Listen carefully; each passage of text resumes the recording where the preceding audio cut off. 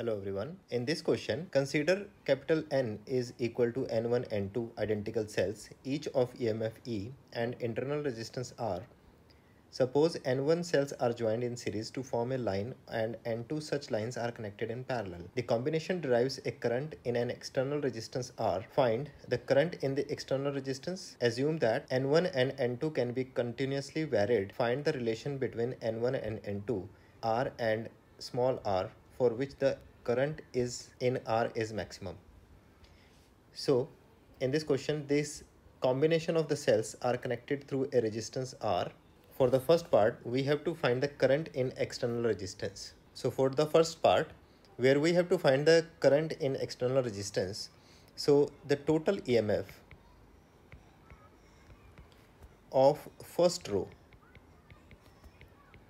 is going to be, so there are n one number of cells connected in series. So the total EMF will be N1 times E.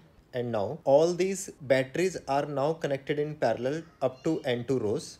So that means the total EMF will remain same that is equal to N1 times E. Now the total internal resistance of the battery will be, so total resistance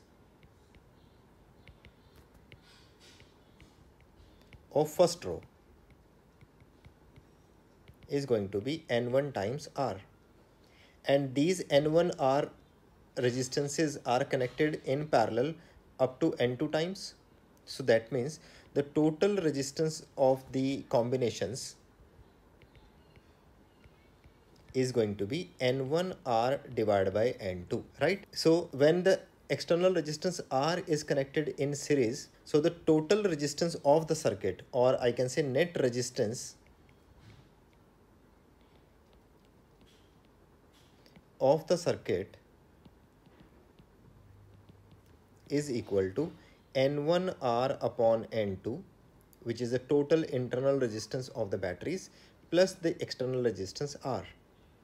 So for the first part A, the current is total EMF that is N1E upon the resistance R which is N1R upon N2 plus R so if we solve that, it will become N1 N2 E times upon N1 R plus N2 capital R.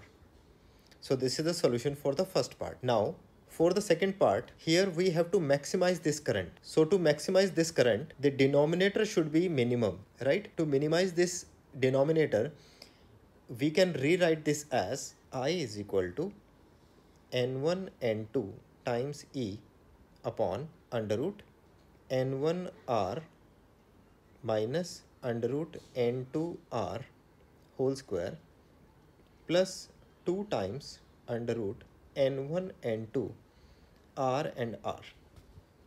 So if we further solve this one, we will again get this n1r plus n2r. So to minimize this denominator, we can say this under root n1r minus under root n2r should be equal to 0. So that means N1R is equal to N2R. So this is the condition for the maximum current and this is the solution of this problem.